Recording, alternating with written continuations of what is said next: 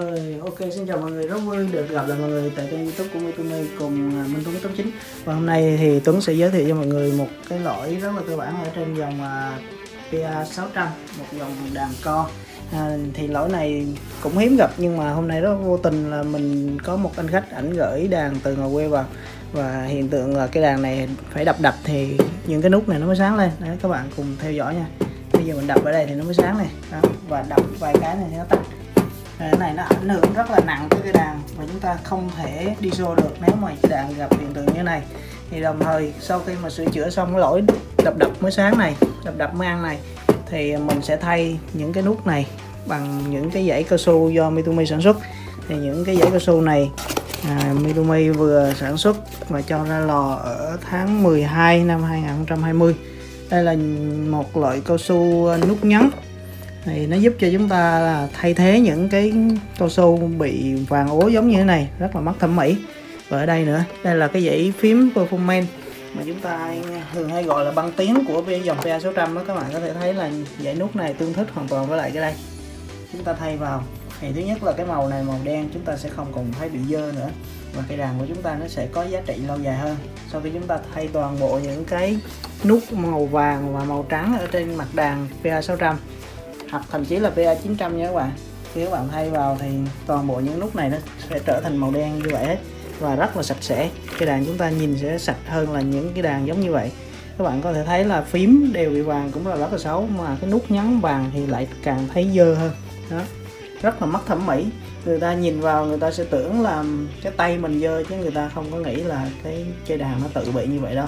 Nhưng mà thực tế là cái đàn nào nó cũng phải tự bị như vậy. Nếu các bạn có mồ hôi dính vào đây. Đó thì uh, theo cái yêu cầu của rất nhiều anh em xài đàn Cobia 600 thì Mitomi đã sản xuất thành công. À, cái nút fill cho dòng đàn PA 600 này thì cái hiện trạng này cái nút fill là như thế này đây. Thì mình sẽ cung cấp cho các bạn từng cái phím fill giống như vậy. Đó từng cái nút fill giống như vậy. Thì các bạn về các bạn sẽ cắt cái miếng cao su và thay vào ở trong. Thì à, chút nữa mình sẽ giới thiệu cho các bạn cái cách làm và hướng dẫn cụ thể cho mọi người cái cách để mọi người thay vào sao cho nó chuẩn và nó đẹp nhất nha.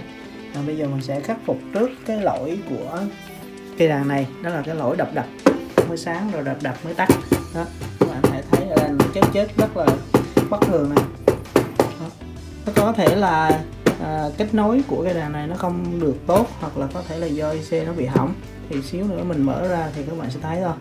Đó bây giờ mình sẽ bắt đầu nha rồi, sau khi mà mở cái đàn ra, giống như những cái clip mà mình đã hướng dẫn cho các bạn ở những clip trước, như là clip ờ, hướng dẫn thay màn hình cho PA600 các bạn có thể tham khảo các clip đó nha. Thì ờ, cái cách mở toàn bộ cái đàn ra và lấy được cái pano phía trước ra như thế này, thì các bạn tiếp tục mở những con ốc ở đây để lấy cái phần mạch của cái nút nhấn ra.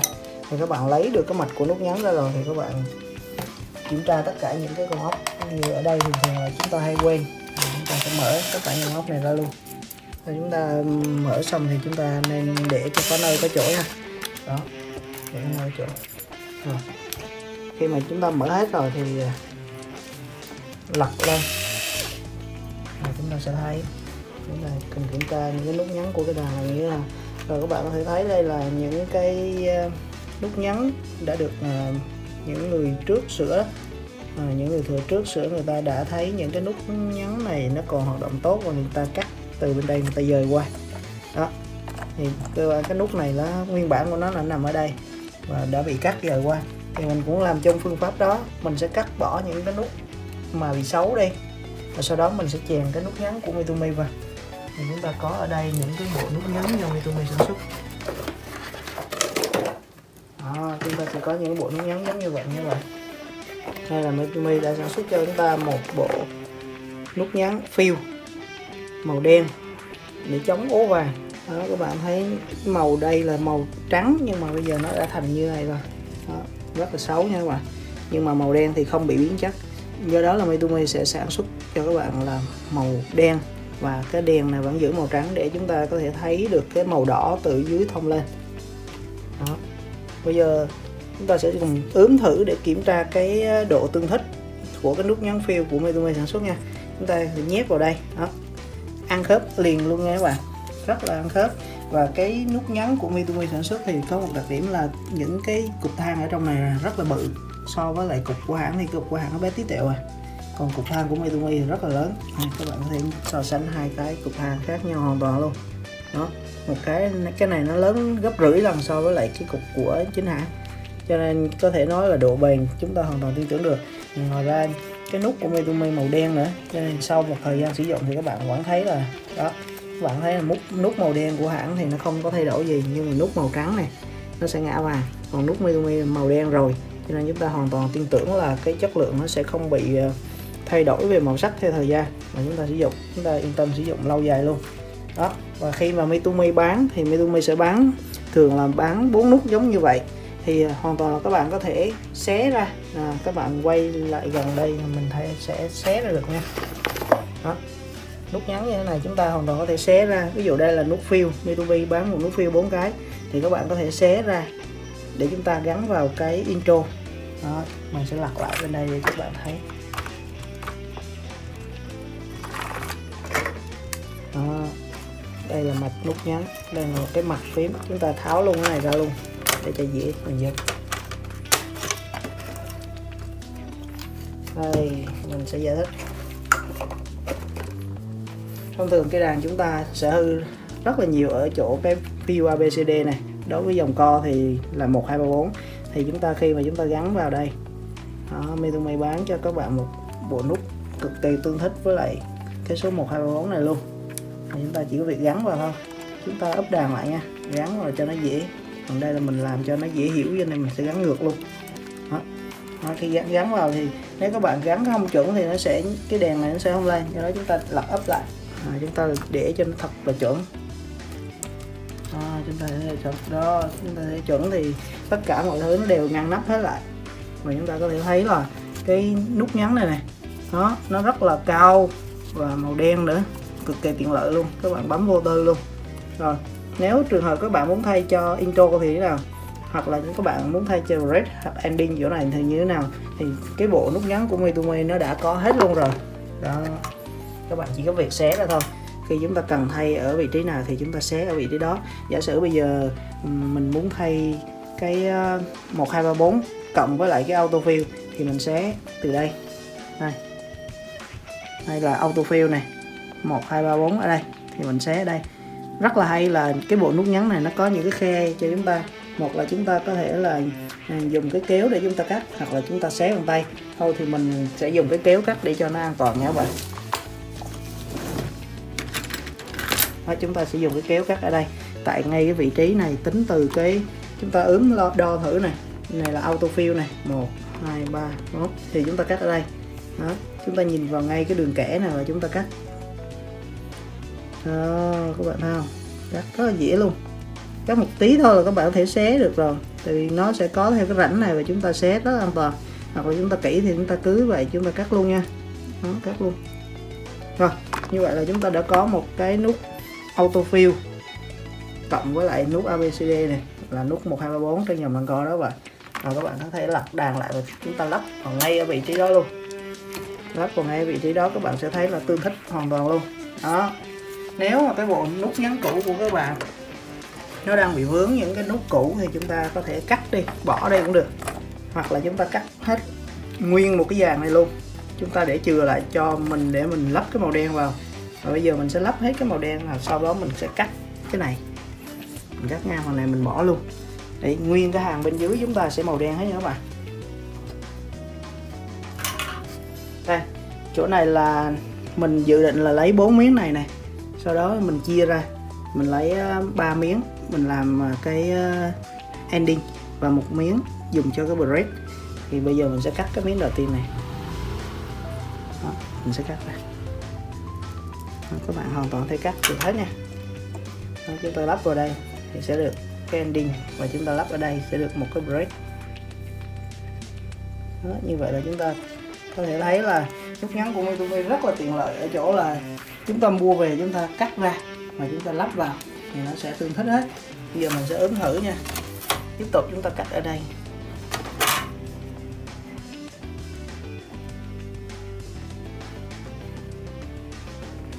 Đây các bạn nếu chúng ta cắt 3 miếng thì chúng ta sẽ có được cái intro. Đó các bạn sẽ thấy intro nó nằm đây. Đó, thấy intro nằm đó. Và bây giờ cái miếng riêng này miếng riêng của hãng này mình sẽ không có dùng lại những cái miếng này nữa mình sẽ cắt ngang luôn. Mình cắt mình bỏ phần đó đi nha. Đó, mình cắt mình bỏ phần này đi. Đó, chúng ta có thể dùng lại ở trong một cái dịp khác. Đó. nhưng mà bây giờ chúng ta không cần nó nữa thì chúng ta cắt bỏ đi. Đó, chúng ta cắt bỏ đi. Ta sẽ thay hoàn toàn bằng những cái nút màu đen do Metumi cấp. Chúng ta để lại vẫn tương thích nha các bạn. Không có ảnh hưởng gì cả. Metumi đã tính toán cho chúng ta hết rồi. Thì chúng ta chỉ có việc là lắp vào thôi. Đó, chúng ta sẽ cắt bỏ những cái phần mà chúng ta cho là nó không có cần nữa. Mà Metumi đã thay thế được rồi thì chúng ta có thể bỏ nó đi. Đó. khi lắp thì các bạn để ý những cái cái lỗ của những cái đèn này nè. Chúng ta phải lắp cho ngăn nắp đó rồi bây giờ mình sẽ lắp lại cái mạch và chúng ta cùng test lại cái kết quả nha. Mình lắp lại cái mạch.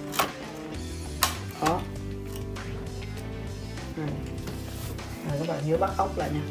Chúng ta bắt ốc thử thôi. Cho nên chúng ta không có quá quan trọng.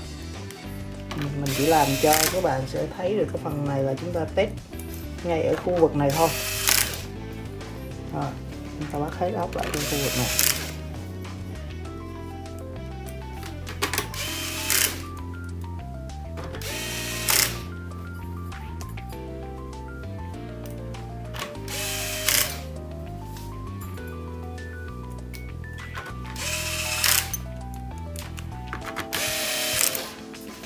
Rồi sau khi đã bắt ốc thử cái phần bên đây. À. sau khi đã bắt ốc thử thì các bạn quay lại kết quả là như thế này đây. Quá tuyệt vời đúng không các bạn? Đó.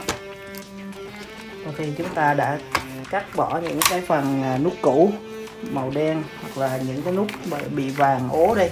Đó các bạn thấy là những cái nút cũ đây này. Đó, nút cũ bị vàng ố này. Đây là vị trí của những cái nút này.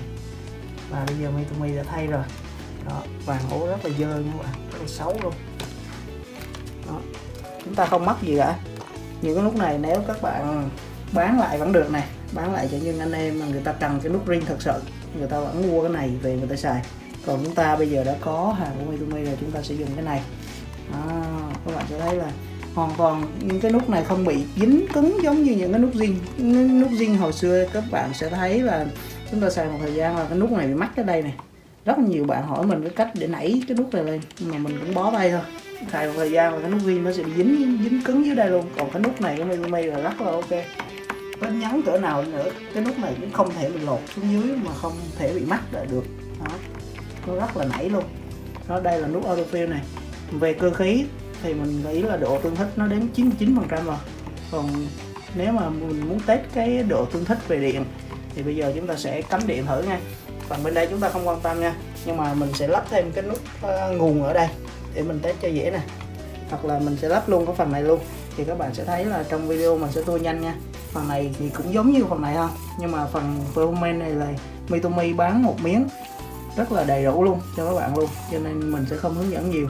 Mình chỉ hướng dẫn cái cách cho các bạn thay những cái chỗ này. Đó. Thay cách thay cách và cắt ghép như thế nào để cho nó đẹp. Thì uh, Mitomi đã tính toán cho chúng ta là cái cách để chúng ta cắt ghép rồi. Cho nên chúng ta chỉ về mua về và chúng ta so sánh thử sau đó chúng ta à, định cái chỗ để cắt ghép như thế nào cho đẹp là được rồi. Bây giờ mình sẽ cắt ghép ở phần bên đây. Thì đây là nguyên một cái dãy à, performance này bây giờ mình sẽ cắt hết cái phần dưới này và mình đưa cái performance của Mitomi vào. Rồi.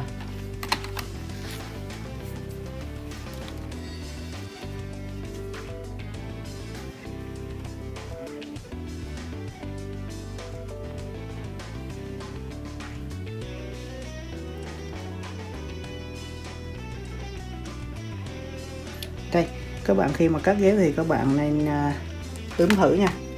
Chúng ta cũng ướm thử này đó. Chúng ta cùng lật lại và xem. Đó, cái phần này nó nhô ra bao xa. Đó. thì tính từ đây này các bạn có thể thấy là cách cái mép từ đây cách qua mép này tầm khoảng 3 ly thôi thì mình cắt từ đây qua khoảng 3 ly. Mình sẽ cắt tính từ cái mép này qua nha. Cạnh này này đó, từ cái cạnh này qua tầm khoảng 3 ly từ từ này đó, chúng ta cắt tới. Rồi ok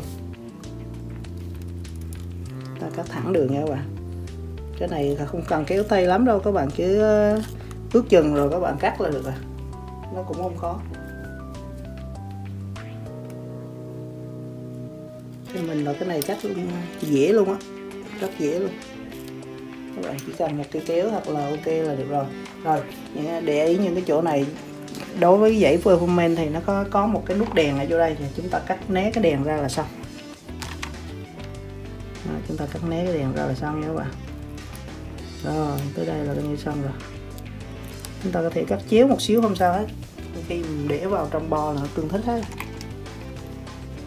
Đó. nói chung là ừ, chúng ta chỉ cắt những cái phần mà chúng ta thấy không cần thiết và chúng ta bỏ đi thôi. Còn những thứ mà cần thiết cần giữ lại thì mọi người cân nhắc cho kỹ. À, nói chung là à, chúng ta làm cái này là để um, tiết kiệm được rất là nhiều tiền của khi mà chúng ta phục hồi nhiều lần thất bại. Thì việc thay thế là nên cân nhắc để thay thế nha các bạn. Thì thực ra Mitomi cũng đã phục hồi rất là nhiều cho anh em trên cái dòng con này. Nhưng mà thực chất là cái chất lượng phục hồi nút ngắn trên dòng đàn co hầu như là khó có thể phục hồi được như hãng lắm. Nó khác với Yamaha đối với Yamaha thì chúng ta có thể phục hồi được gần như là của hãng và rất là bền. Nhưng mà không hiểu sao trên cái dòng nút cao su của co này à, thì chúng ta cực kỳ là khó phục hồi. Không hiểu sao luôn các bạn. Nhưng mà thực trạng là như vậy. À, chính vì lý do đó thì Mitumi mới phải sản xuất ra cái nút cao su này để cung cấp cho anh em. Thì bây giờ mình sẽ lắp cái performance vào trong cái vị trí của performance nha. Đây là nút performance. Rồi mình lắp vào này. Vừa thích luôn nha các bạn đây là một cái cơ khí gọi là cực kỳ chính xác do Mitumi thiết kế. Thì dựa theo cái sản xuất của hãng và Mitumi đã làm theo. Đó. Nó dựa theo thiết kế của co. Đó. Mitumi làm theo và hầu như là chính xác gần như tuyệt đối luôn các bạn. Chỗ này nếu các bạn thấy là nó vướng thì Mitumi cũng đã làm cho chúng ta cái rãnh rồi và chúng ta hoàn toàn có thể cắt theo cái rãnh đó. Cắt sát luôn nha các bạn cắt phát theo cái rãnh này Mizumi đã tận tình làm cho chúng ta rồi thì chúng ta cứ thế mà chúng ta làm theo thôi. Đó. tất cả đều có những cái rãnh mà chúng ta hoàn toàn có thể xé cái rãnh đó hoặc là dùng kéo cắt đi. Đó. Như mình là mình cắt một miếng như này thì cái chỗ cái đèn đó hoàn toàn tương thích được luôn. Đó các bạn yên tâm luôn. Đó. Cái chỗ này mình cắt chưa có chuẩn thì bây giờ mình sẽ cắt cái góc vuông ngay đây cho nó chuẩn luôn. Đó, mình sẽ cắt góc vuông ngay chỗ cái đèn luôn. Đó, các bạn chú ý nha cắt nó không khó nhưng các bạn cứ ướm vào các bạn thấy chỗ nào vướng các bạn cứ cắt cho mình không sao đâu.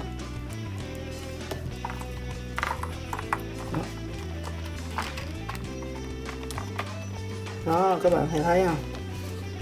Hoàn toàn vừa khít luôn này đó, nhưng mà miếng than bự hơn. Rồi phần cơ khí lắp ráp cũng rất là chuẩn luôn. Đó.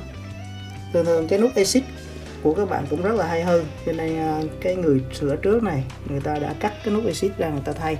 Và bây giờ mình sẽ lấy một cái nút exit của Mitumi mình gắn vào đó ngay. Đây lúc này là vừa nghe các bạn. Thì các bạn mua lẻ cũng được. Khi các bạn đặt mua có thể đặt mua lẻ là à, uh, Mitumi bán cho mình một cái nút nguồn hoặc là bán cho mình một cái nút exit lẻ. Thì Mitumi vẫn cung cấp cho các bạn được. Dựa trên cái này thì Mitumi có thể là à, tách ra có thể bán cho bạn riêng cái đèn này bán cho bạn riêng cái nút nguồn này hoặc là bán riêng cho bạn nút exit à, à, bọn mình là làm thiết kế rất là đầy đủ rồi. Cái bản cho dòng đàn co này thì hầu như là Mitumi làm. Chỉ thiết kế một thiết kế thôi là chúng ta có thể dùng được rất là nhiều cái ờ, chức năng của nó. À, chúng ta cắt kỹ lại nha. Rồi chúng ta gắn vào. À, thế là chúng ta có một cái nút exit luôn chúng ta có ngay một nút exit ở đây liền. Đó một xíu nữa mình sẽ mở lên và các bạn sẽ thấy là nút exit hoặc là nút nguồn này. Bây giờ mình không thích nút nguồn này mình cắt nút nguồn đây luôn cũng được nha các bạn. Mình cắt luôn nút nguồn đi và mình bỏ nút nguồn của Mitumi vào. Và chúng ta có thể là à, biến hóa được tất cả những cái nút ở trong cây đàn co này bằng nút của Mitumi chúng ta cắt bỏ và chúng ta đưa nút Mitumi vào. Cái nút này nó là cái nút phiên bản nút nhỏ bây giờ mình sẽ lấy một cái nút lớn hơn mình đưa vào.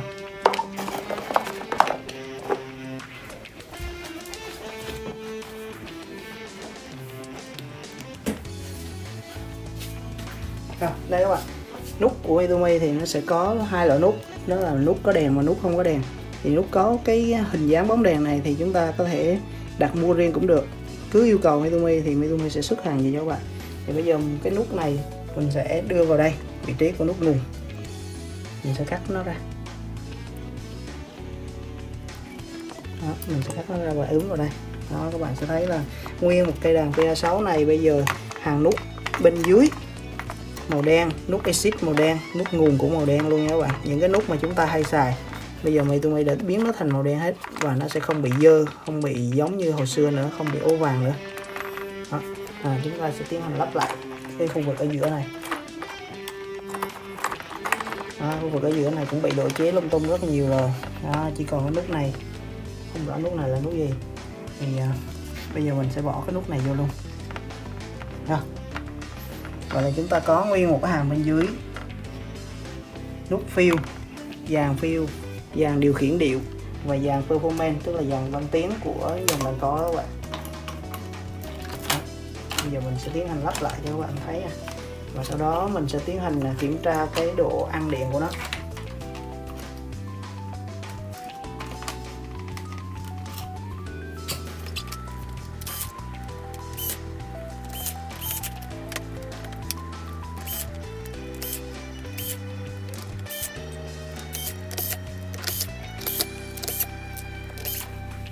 Rồi, khi chúng ta gắn tết thì chúng ta cũng không cần phải gắn hết, cho nên mình sẽ gắn vài con thôi bây giờ chúng ta sẽ kiểm tra lại cái mặt trên của cái PA600 sau khi đã gắn dàn nút của Mitumi vào thì các bạn có thể thấy là nó giống như là 90 so với lại ban đầu rồi.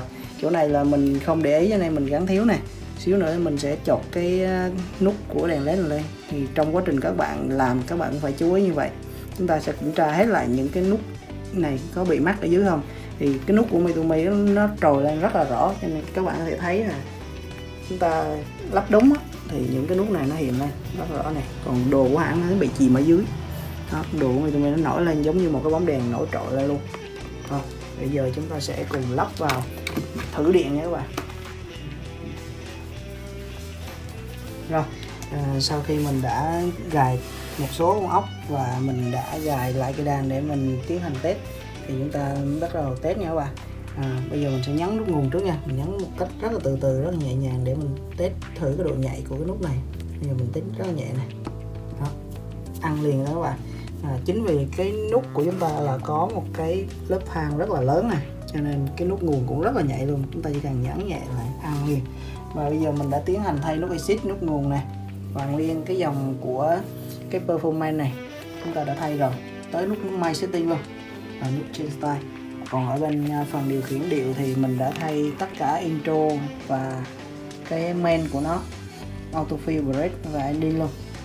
Những cái nút này mình chừa lại để cho các bạn đối chiếu với nhau để cho chúng ta thấy giữa nút zing và nút của Mitsubishi sản xuất nó có gì khác nhau hay không. Đó đây là nội dung của một cái nút do Mitsubishi làm. Thì một cái nút như vậy gọi là nút uh, theo chúng ta gọi là nút đa năng đấy các bạn. Chúng ta có thể gắn ở bất cứ đâu mà nó vừa thì ở trên dòng PA600 chúng ta có ba loại nút thôi. Nút với kích thước bằng những cái men này này và nút nhỏ hơn một tí là những nút trên này và nút tròn. Thì Itumi đã sản xuất một lô nút này thì chúng ta có tất cả những cái nút đó và chúng ta chỉ có việc là cắt ghép sao cho nó vừa vào trong cái đàn PA600 của chúng ta thôi. Thì chúng ta cần mua bao nhiêu nút thì chúng ta cứ đặt hàng cho Mitumi ví dụ chúng ta cần mua hai nút tròn ở đây thì chúng ta đặt hàng hai nút tròn. Ờ, để chúng ta ghép vào đây hoặc là ghép vào đây.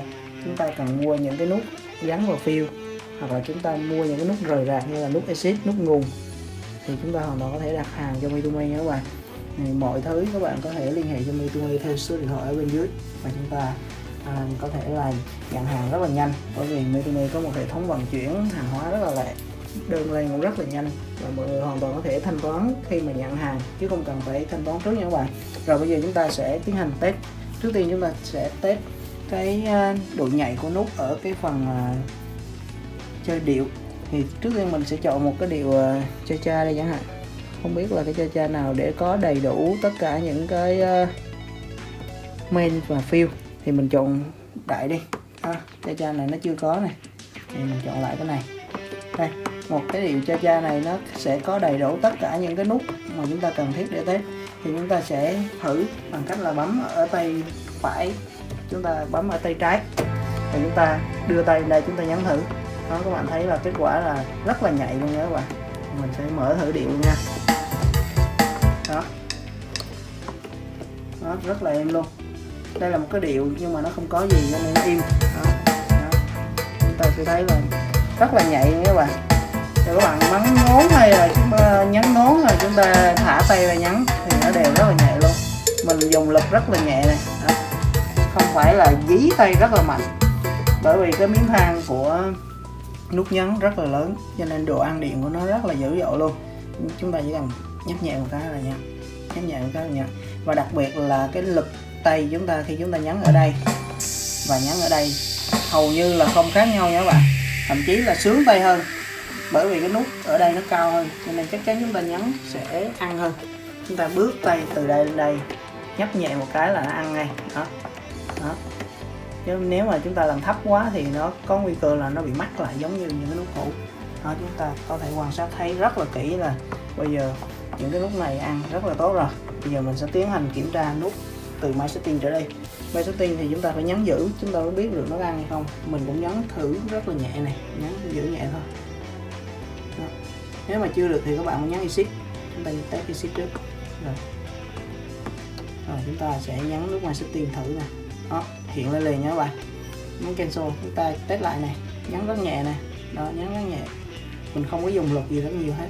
Bởi vì thứ nhất là nút mới và thứ hai là cục thang rất là bự. Đó là đặc điểm nổi trội của cái dòng nút mới do Mitsubishi sản xuất. Rồi, chúng ta sẽ bấm exit này exit rất nhạy luôn. Mình đã thay luôn cái nút exit rồi. Đây là nút nguồn thì bây giờ chúng ta sẽ test cái phần performance mình nhấn thử ờ, piano trước nha. Đó nhảy màn hình rẹt đòn lên. Rất nhạy luôn.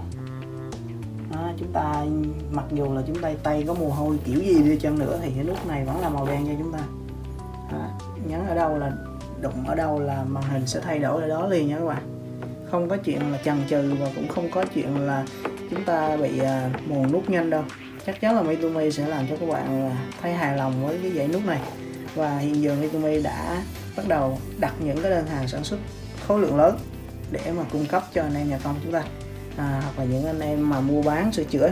À, chúng ta mua bán sửa chữa chắc chắn là sẽ gặp trường hợp những anh khách hàng khó tính người ta sẽ không chịu những cái nút màu như vậy đâu các bạn. Màu như vậy rất là xấu thà chúng ta làm màu đen mà nó sẽ đẹp hơn. Hoặc là trắng là trắng đẹp hết nhưng như mới. Còn nếu mà chúng ta còn phân vân giữa cái à, màu của hãng với lại màu đen như thế này thì mình nói thật cho các bạn biết là nên làm màu đen.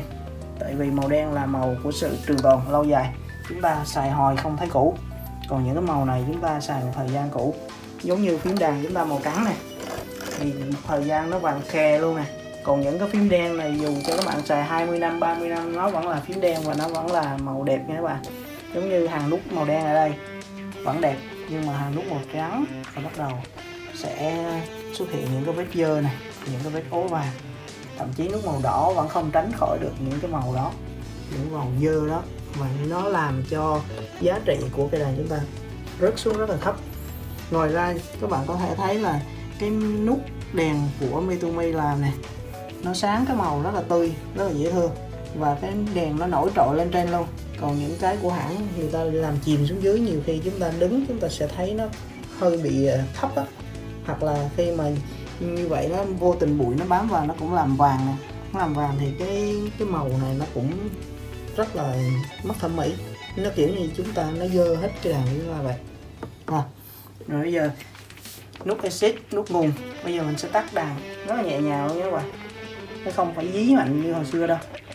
Chúng ta thường thường thì hư nút này nhiều này nút exit nhiều này đặc biệt là nút phiêu và bây giờ mình sẽ tắt đàn thử cho các bạn xem nhấn exit nhẹ nhàng và bây giờ đàn đã tắt rồi. Rồi và là quá trình test. Nút nhấn do Mitumi sản xuất dùng cho dòng đàn PA600 đã hoàn tất.